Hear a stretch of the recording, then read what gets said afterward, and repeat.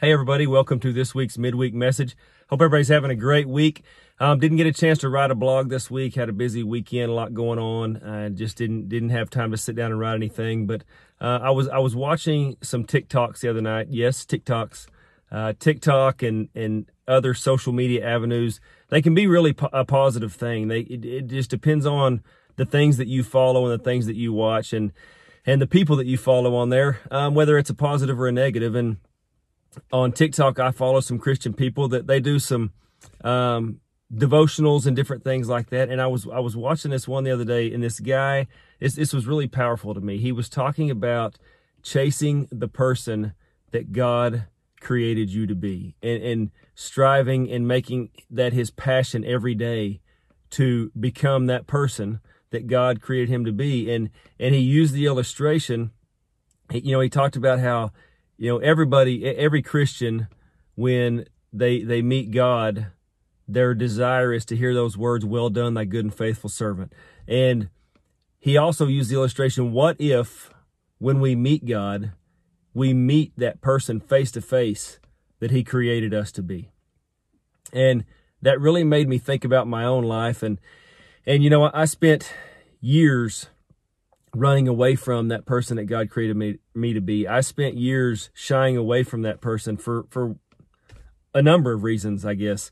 Um, and, and I've taught, I've told my story and talked about this on my blog when I first started it. And it's too long to, to talk about, you know, the whole thing on here. But, um, you know, I, I, I spent a long time, um, running away from that. And you hear, you hear testimonies and stories all the time. And it's, it's really awesome when, um, that that that switch flips and all of a sudden you take that different path in your Christian life and and your your Christian walk becomes a lot closer to God and you hit another level in your Christian life and and you start really heading down the road that leads to being that person that God wants you to be. And so as I thought about that and I thought about uh, my own life, you know, the thing I thought about was what if when we meet God and we meet that person face to face? What if that happens and we meet that person face to face?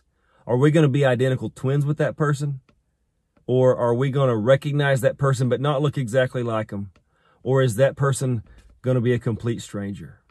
And that that really, you know, that really spoke to me and that really um, made me think about um, I, I, don't want to be a stranger to that person. And I don't want to be um, I don't I don't want to, you know, kind of resemble or recognize that person. I want to be identical twins with the person that God created me to be and the the person that God wants me to be and, and to become. And so, you know, my question for you this week is, you know, where are you at with that? You know, I, I asked myself that um, as I was watching that the other day. And uh, you know, if if we're on the right path and we're going down that right road, then keep on going and, and strive every day to chase that person.